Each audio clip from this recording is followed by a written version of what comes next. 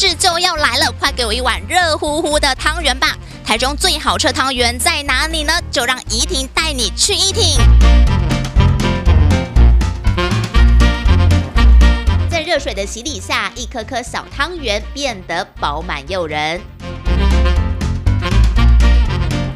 来到店里必尝的综合甜汤圆，是用红豆和花生做综合汤底，看似普通的组合，其实大有配包。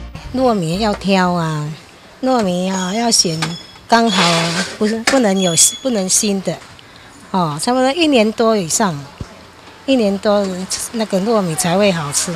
泡一下子豆子，让它膨胀一下，煮起来哈会更大颗，会更绵密，更好吃。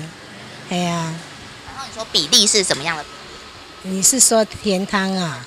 甜汤有比例啊，像你没有比例，那个糖水煮起来有的太水了，有的太浓了。或汤圆吗？有有有，我都会加汤圆。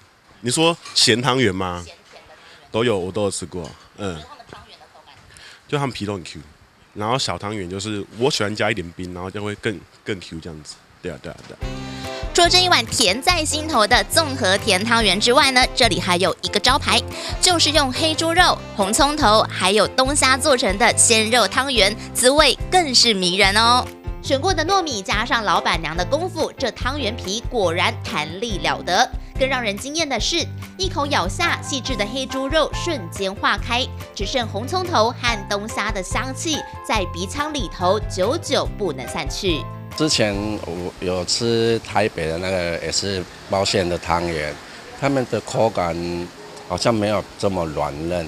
我们从彰化来，然后逛逛就进来吃了，就很好吃，不错，就是很有我妈妈的味道。哦，一个月一个月前就要忙了，要不然做不出来。